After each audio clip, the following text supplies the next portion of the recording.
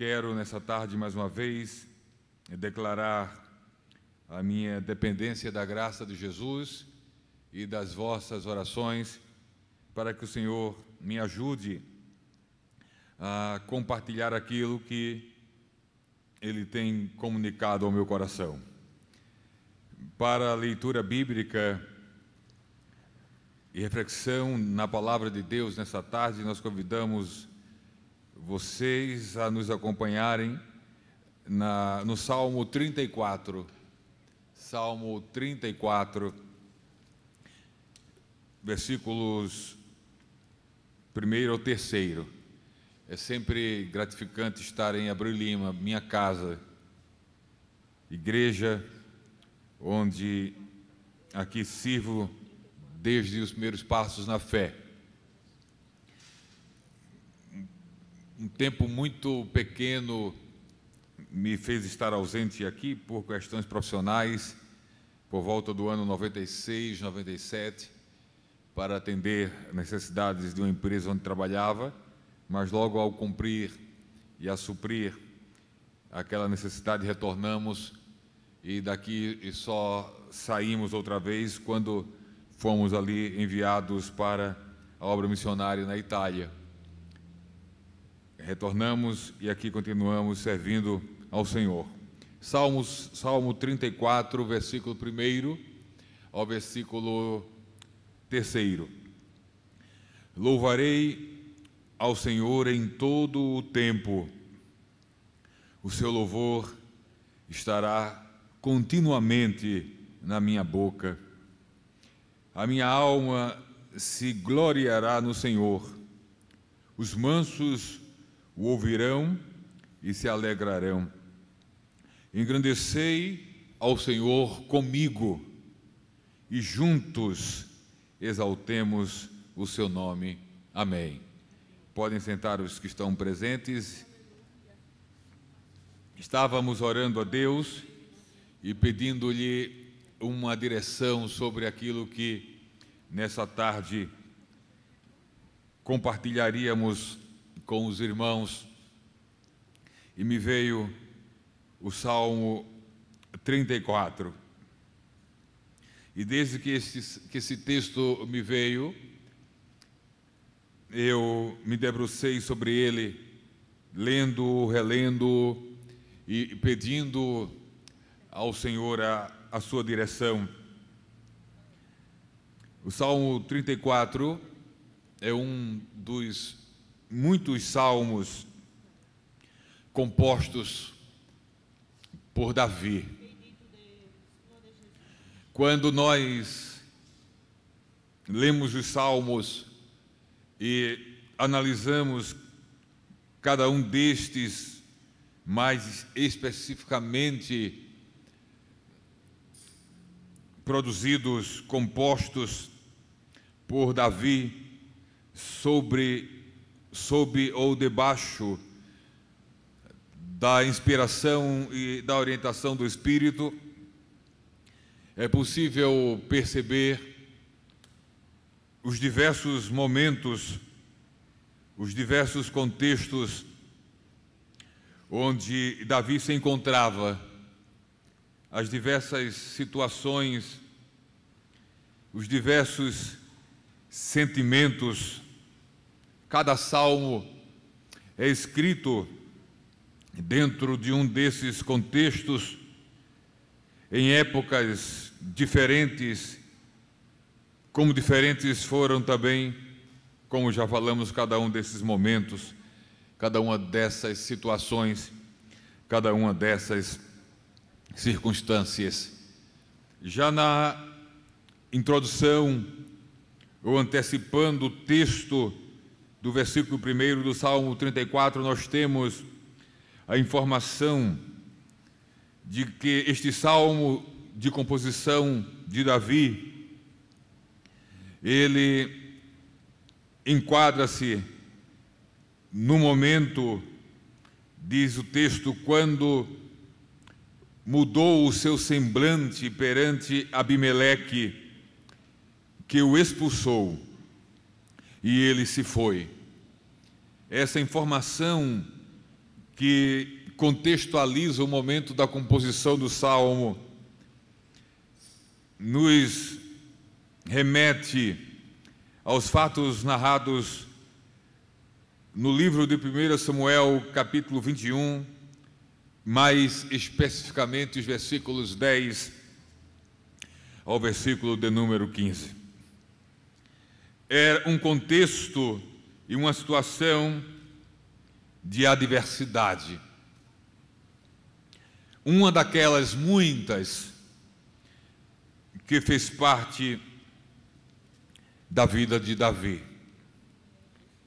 Em meio a, ao meu desejo de buscar em Deus a direção, não apenas desejo, mas necessidade de buscar em Deus a direção, naquilo que falaria nessa tarde, fundamentado nesse salmo. Logo próximo, agora, no início da tarde da minha saída de casa, creio firmemente que, com a ação do Espírito, me veio uma orientação de falar um pouco da trajetória de Davi. E olhando para a trajetória de Davi, Davi é um claro exemplo que a nossa vida e que o nosso ministério são feitos de altos e baixos. São feitos de momentos bons e de momentos ruins. Davi é um, é um, é um grande e, e claro exemplo daquilo que acontece com todos nós. Mas há uma, uma particularidade que gostaria já de destacar é que em determinado momento da vida de Davi, ele vai ter mais visibilidade e ele vai ter mais popularidade.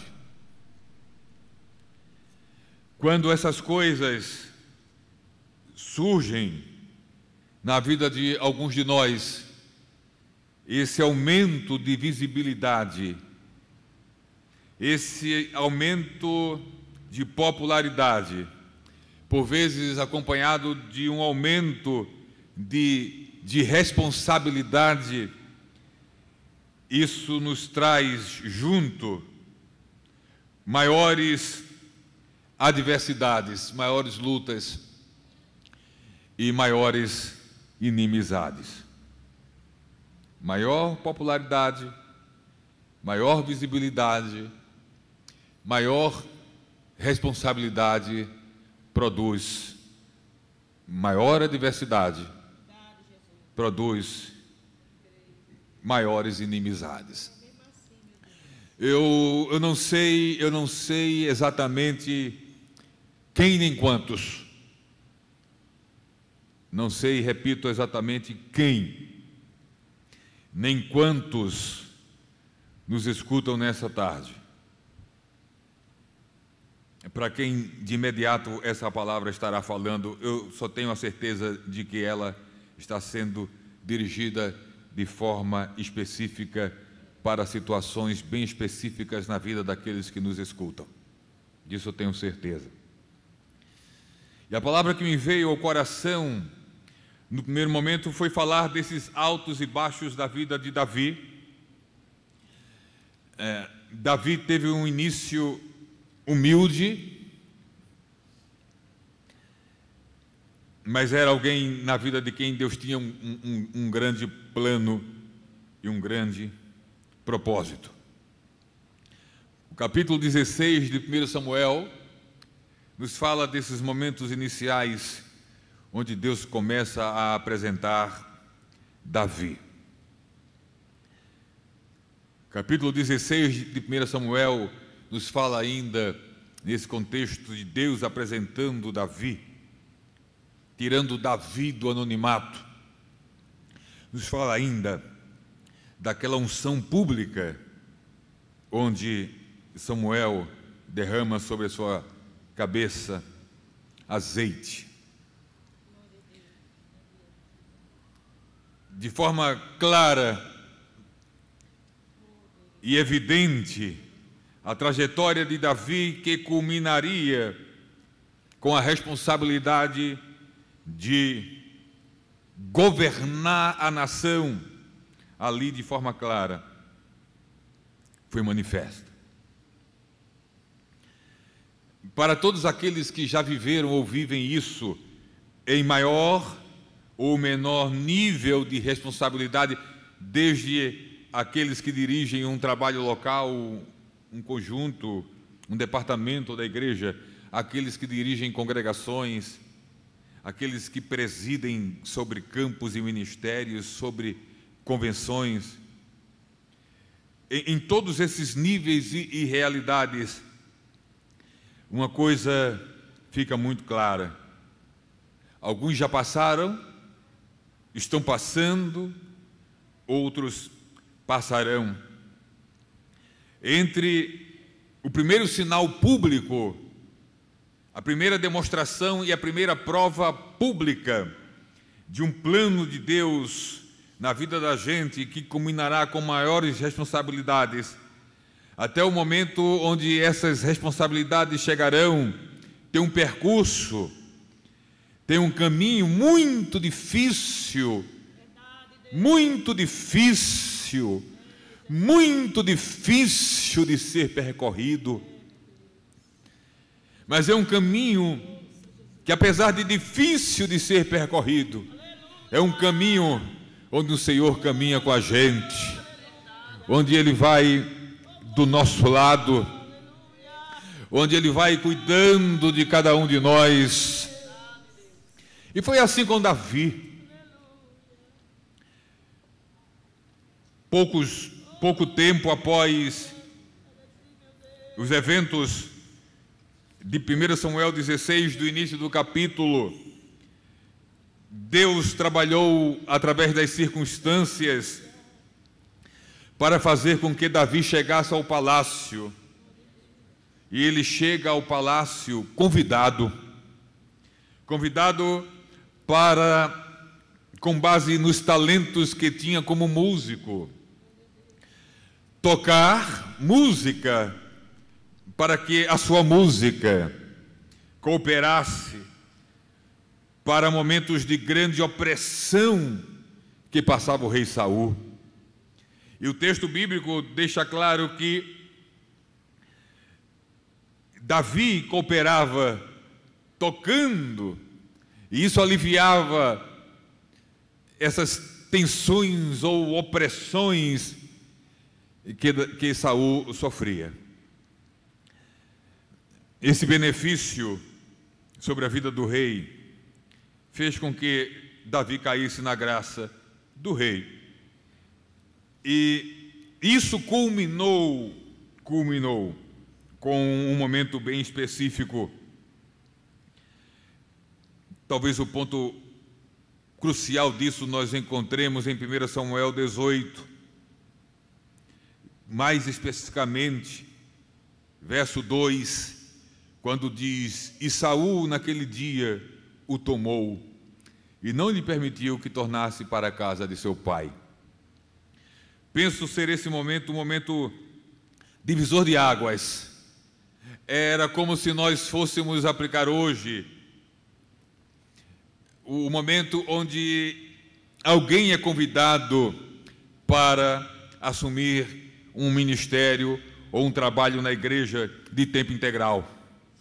Porque até então, Davi cooperava com o palácio, servindo o rei, servindo naquilo que estava ao seu alcance, mas também continuava dividido com as atividades na casa do seu pai, com as suas responsabilidades. Até que nesse momento, nesse momento, nós temos essa informação de Davi receber um convite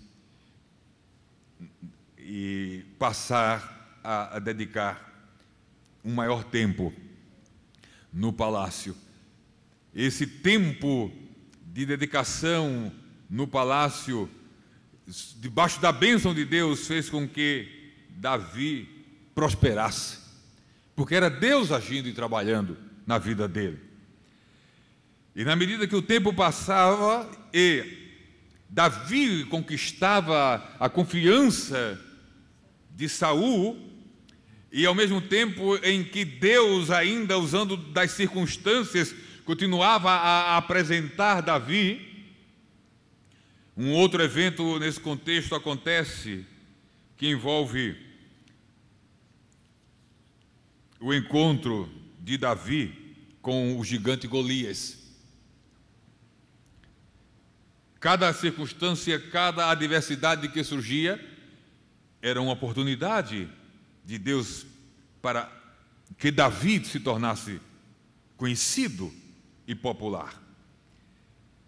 Essa popularidade culmina e, e, e, essa confiança da parte de Saul associada a essa popularidade culmina quando ele é a ele é atribuído a responsabilidade de, de liderar exércitos, de comandar exércitos.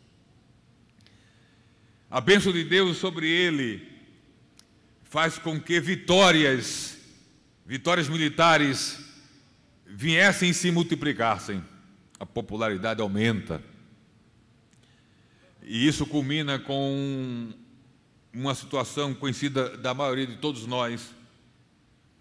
Em 1 Samuel 18, a partir do verso 7, antes até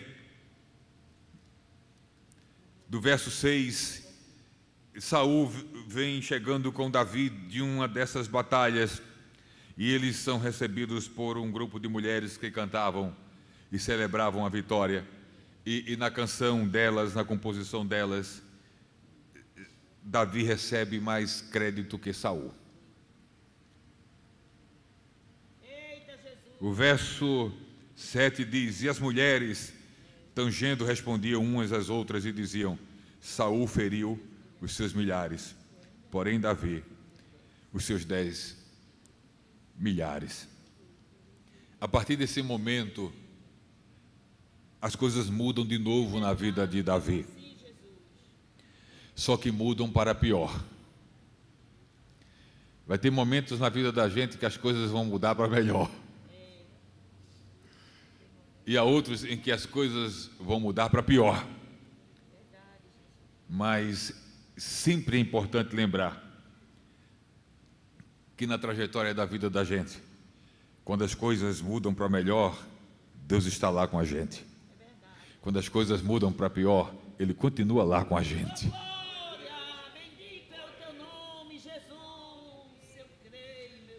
A, a coisa muda tanto as palavras que nós vamos encontrar na continuidade da narrativa dessa história de Davi, naqueles primeiros momentos após esse evento do cântico das mulheres, é, Saul passa a olhá-lo com suspeita, passa a suspeitar mal de Davi. O, o sentimento muda tanto em relação a Davi que o Saul agora intenta até matar a Davi. Aquele, aquele homem de grande confiança e proximidade, Saul usa a seguinte expressão para classificá-lo. Em, em 1 Samuel 19 e 17, nós lemos: Então disse Saul a Mical: por que assim me enganaste e deixaste ir e escapar o meu inimigo?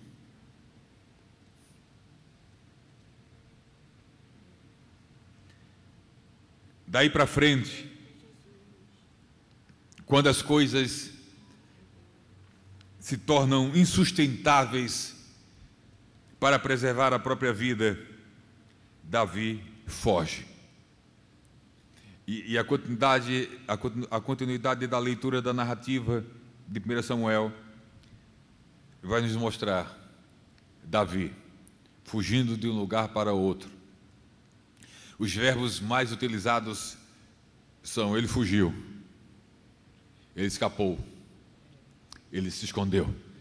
Escutamos agora há pouco algo sobre Elias, que por um tempo precisou se, se esconder ou ser escondido por Deus. E ouvimos bem, eu ouvi bem, enquanto eu ouvia, eu fazia conexão com aquilo que Deus tinha colocado em meu coração. Que nesses, nesses diversos momentos da vida da gente, há, há tempos onde é tempo de, de nos apresentar, ou de sermos apresentados, e há tempo de nos esconder ou, ou sermos escondidos por Deus. há tempo de entrar em cena e há tempos de sair de cena. É verdade, Jesus. O próprio Deus trata de nos tirar de cena por um tempo. Entendam, entendam. Quem está escutando está entendendo tudo.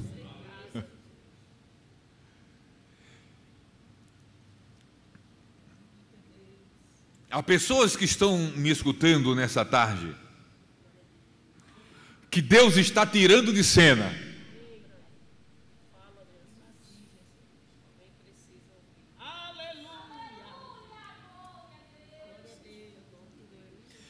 Que Deus começou um processo de escondê-las.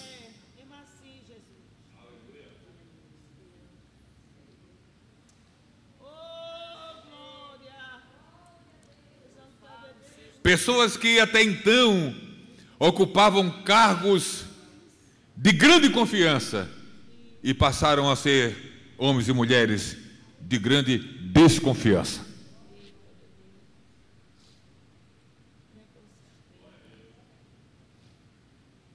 Os sentimentos, os sentimentos das pessoas em relação a nós podem mudar diante de toda a nossa sinceridade em servi-los, em ajudá-los.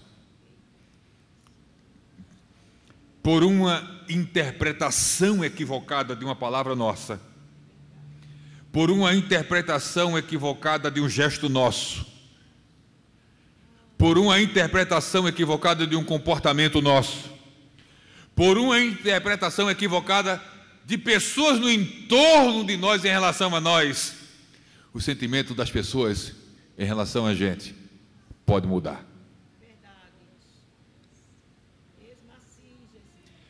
O sentimento de Saul mudou em relação a Davi por uma interpretação equivocada que ele fez da celebração daquelas mulheres. Não foi nada que Davi disse. Não foi nada que Davi fez. Foi as pessoas que fizeram. E isso na mente de de Saul abriu uma brecha para suspeitar, para desconfiar de que Davi estava com algum plano para tomar o lugar dele, para ocupar o lugar dele.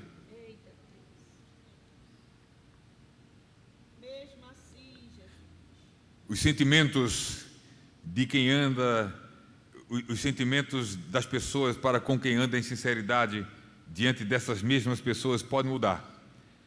Mas o sentimento de Deus para com aqueles que andam em sinceridade na presença dele e dessas pessoas nunca muda. Davi foi objeto da desconfiança de Saul, mas continuou sendo objeto da confiança de Deus. A questão, em última instância, não é o quanto os homens vão deixar de confiar em nós, ou por quanto tempo. A grande questão é se Deus continua confiando na gente.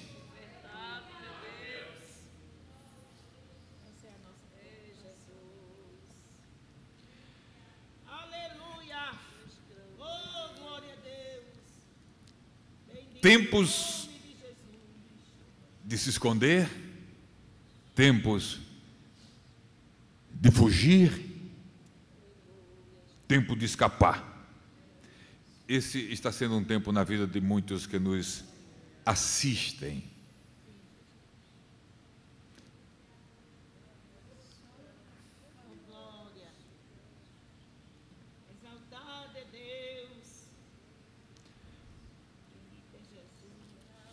Foi nesse contexto que Davi escreveu o Salmo, compôs o Salmo 34. Foi nesse contexto de fuga, fugindo, se escondendo de Saul, que ele compôs o Salmo 34. E o Salmo 34 começa com essa declaração de fé. Louvarei ao Senhor em todo o tempo.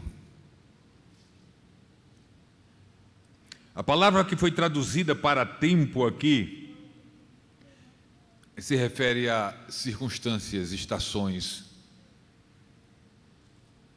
momentos da vida, períodos que nós passamos diante de determinados eventos. E Davi declara aqui, nesse contexto onde está sendo perseguido: Louvarei ao Senhor em todo o tempo. Quando, quando o tempo, quando as circunstâncias estavam melhores, Davi louvava a Deus. As circunstâncias mudaram aqui. E ele continua louvando a Deus e afirmando: Louvarei ao Senhor em todo o tempo. Pela palavra de Deus, nós somos nessa tarde, mais uma vez, convidados a louvar a Deus, independente das circunstâncias e situações que estamos passando. Porque Davi escreveu pelo Espírito: Louvarei ao Senhor em todo o tempo. Porque o Senhor deve ser louvado em todo o tempo, em todas as estações, em todas as circunstâncias, em todos os momentos, porque em todo o tempo, em todas as circunstâncias, em todos os momentos, em todas as situações, Ele permanece o mesmo. Em todo o tempo, Deus continua santo em todo tempo Deus continua justo. Em todo tempo Deus continua verdadeiro. Em todo tempo Deus continua bondoso. Em todo tempo Deus continua paciente. Em todo tempo Deus continua misericordioso.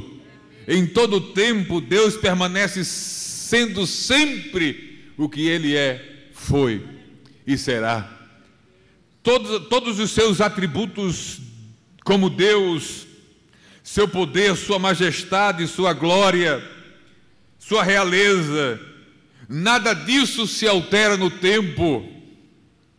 Deus não muda, Deus, Deus não se altera, Ele será sempre o mesmo. Seus atributos comunicáveis e incomunicáveis, transcendentes ou imanentes, são os mesmos em todo tempo, Ele é grande em todo tempo, Ele é Deus em todo tempo. Por isso, em todo tempo, bons ou maus tempos, Deus deve ser louvado. Davi é expulso perante Abimeleque em meio a uma fuga, mas ele diz, e ele escreve, e ele compõe: Louvarei o Senhor em todo o tempo, o seu louvor estará continuamente na minha boca. Não tem tempo bom e nem tem tempo ruim que tire da minha alma o desejo e o prazer de louvar a Ele. De louvar a Ele. Eu estou fugindo, mas eu louvo a Ele. Eu estou me escondendo, mas eu louvo a Ele. Eu estou escapando, mas eu louvo a Ele. Estou sendo perseguido, mas eu louvo a Ele. Estou sendo caluniado, mas eu louvo a Ele. Eu sou objeto de desconfiança, mas eu o louvarei em todo o tempo. Em todo tempo, em todo tempo.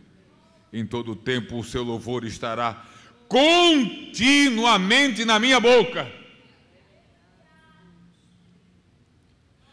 Podem te tirar os púlpitos, mas não podem tirar o louvor a Deus da tua boca. Podem te tirar as oportunidades, mas não podem te tirar a liberdade de adorar a Ele. Aleluia. Em todo o tempo louvarei ao Senhor, a minha alma, verso 2, se gloriará no Senhor. Os mansos ouvirão e se alegrarão. Tempos.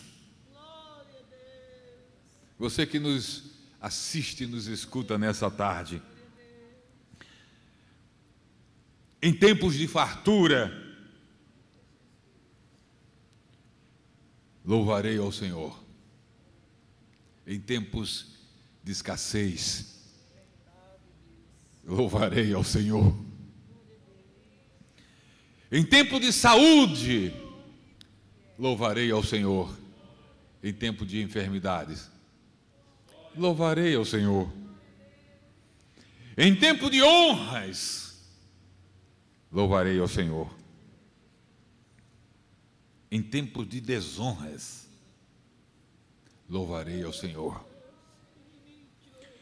Em tempo de muitos convites, eu louvarei ao Senhor. Em tempos de fugas, louvarei ao Senhor. Em tempos de lembranças do nosso nome, louvarei ao Senhor. Em tempos de ser esquecidos, ou esquecido, esqueceram de você, louvarei ao Senhor. Em tempos quando somos amados, em tempos de ser amado, louvarei ao Senhor. Em tempos de ser odiado pelos homens, louvarei ao Senhor. Em tempo de amparo, louvarei ao Senhor. Em tempo de abandono, louvarei ao Senhor. Em tempos de aceitação, louvarei ao Senhor. Em tempos de rejeição, louvarei ao Senhor. Em tempo de risos, louvarei ao Senhor. Em tempo de lágrimas, louvarei ao Senhor. Em tempo de alegria, louvarei ao Senhor. Em tempo de tristeza, louvarei ao Senhor. Em tempo de castelos, louvarei ao Senhor. Em tempo de desertos, louvarei ao Senhor. Em tempos de montes, louvarei ao Senhor. Em tempos de vales, louvarei ao Senhor. Em tempos de conquistas, louvarei ao Senhor. Em tempos de perdas, louvarei ao Senhor.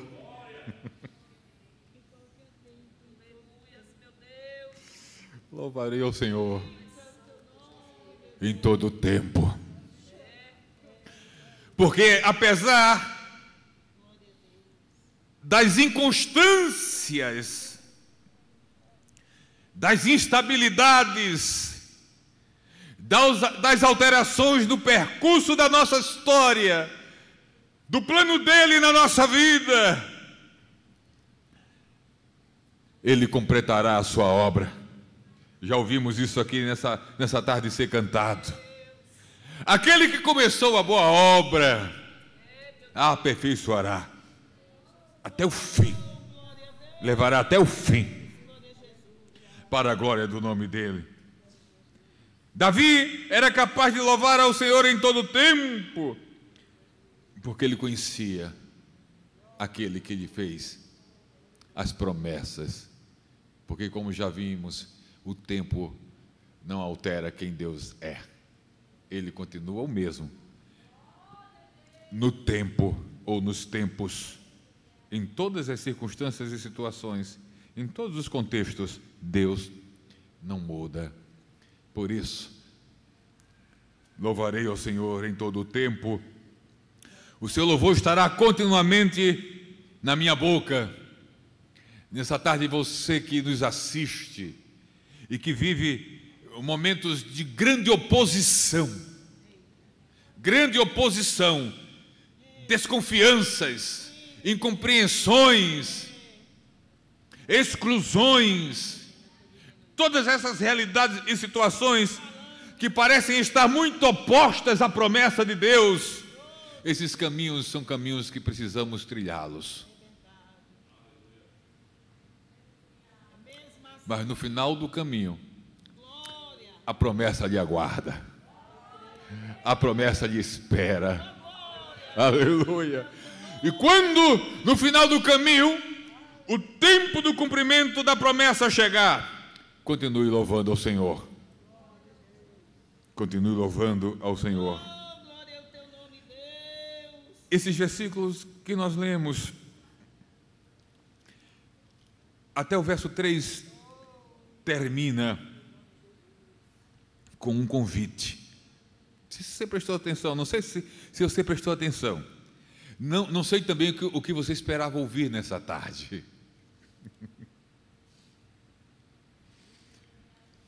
Se o que você está ouvindo não diz exatamente aquilo que você vive, está te preparando para o que chegará na tua vida. E quando chegar, louve ao Senhor, continue louvando ao Senhor, continue adorando ao Senhor. No verso 3, concluindo o texto que nós lemos, Davi se expressa da seguinte forma: Engrandecei ao Senhor comigo, e juntos exaltemos o seu nome.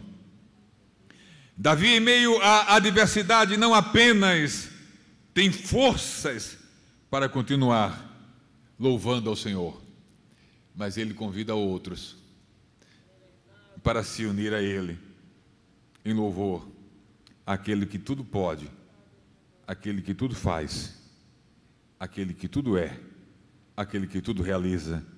Ele convida outros Talvez essa palavra possa estar sendo direcionada também para alguns que estavam juntos com ele.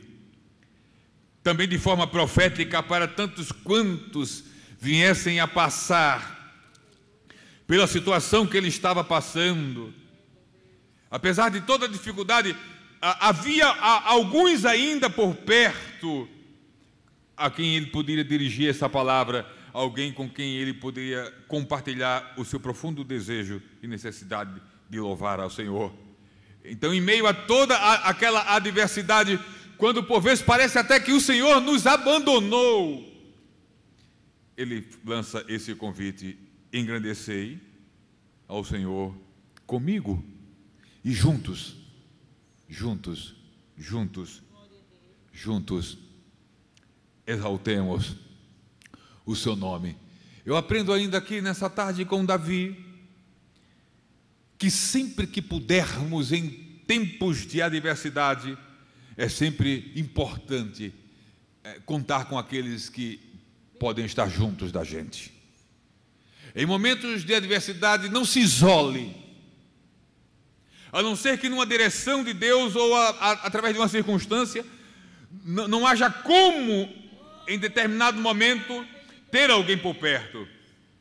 Até Jesus ficou sozinho, num, num momento de grande adversidade na vida dele. Então nós também, aqui e ali, em alguns momentos de grande adversidade, ficaremos sozinhos. Mas dentro da possibilidade, insisto, e, e conte com aqueles que estão mais próximos de você, que lhe conhecem e convide-os para junto com você. Convide-os a engrandecer ao Senhor. Engrandecei ao Senhor comigo e juntos exaltemos o seu nome. Glória a Deus. Eu quero concluir essa palavra com uma breve, uma breve oração, orando por você, para quem de forma específica isso que Deus nos preparou foi preparado. Repito, preparado para o momento que você vive, preparado para momentos que você viverá. Em toda época, em toda época, em toda época, em todo o tempo, em todo o tempo, em todo o tempo. E quanto maior a responsabilidade, quanto maior a responsabilidade, será maior a adversidade. Quanto maior a exaltação que virá da parte de Deus para a glória dele, será também a oposição. Mas confie em Deus, confie em Deus, confie em Deus. Dependa dele, dependa dele, dependa dele. Louve a ele, louve a ele, louve a ele, adore a ele, adore a ele, adore a ele, engrandeça a ele, engrandeça a ele, engrandeça a ele. Se humilhe na presença dele. Confie absolutamente nele. Porque esses tempos passarão tempos melhores virão. E nessas alternâncias e oscilações da vida, em cada fase, nós cresceremos. Deus estará nos preparando para obras maiores que virão. Então, nessa, nessa tarde, em nome de Jesus, ore comigo. E como Davi, engrandecei ao Senhor comigo e juntos exaltemos o seu nome. Pai Santo, te louvamos por tua palavra, tua palavra que é poderosa, tua palavra que é espada cortante de dois gumes, tua palavra que destrói, mas que restaura, que abate, mas que dá vida, tua palavra que corrige, mas que consola eu não tinha outra coisa a falar nessa tarde, Senhor, a não ser esse texto, essa palavra que veio por tua direção. Eu tenho uma plena convicção no meu coração diante de ti que há vidas aqui nos ouvindo profundamente aflitas, aflitíssimas diante de situações que estão vivendo, gente que perdeu cargos, perdeu emprego, perdeu funções na igreja, por incompreensões, por acusações, de forma injusta e equivocada. É por estes, é a estes que tu estás falando, é com estes que tu estás tratando, e é com estes e a estes que tu estás confortando e fortalecendo nessa tarde lembrando-nos que tu estás no controle de todas as coisas. E no tempo certo, os quadros, as circunstâncias, os tempos mudarão. E a tua palavra, a tua vontade prevalecerá na vida de cada um de nós.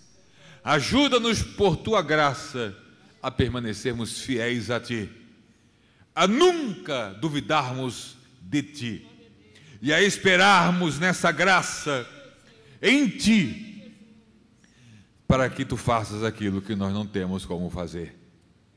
Pai, recebe assim honra, louvor, glória, exaltação, reconhecimento, adoração. Nos prostramos mais uma vez aos Teus pés nessa tarde, para a Tua glória, no nome de Jesus. Amém. Agora você pode fazer a sua contribuição através do Pix, uma operação rápida, segura e sem custos. Abra o aplicativo do seu banco, clique na opção Pix e em seguida vá na opção Transferência. Depois é só digitar nossa chave Pix, que pode ser o nosso CNPJ 11 120 490 0001 86. Nosso e-mail contribua@eadalp.org.br ou nosso celular 81 98883 2755. Verifique se a contribuição é para a Igreja Evangélica Assembleia de Deus em Abreu Lima, Pernambuco. Confirme a transferência e depois siga o procedimento do seu banco. Anote nossas chaves Pix para não esquecer. CNPJ 11 120 490 0001 86. E-mail contribua@iadalp.org.br. Celular 81 98883 2755. Você está contribuindo para o crescimento da obra de Deus.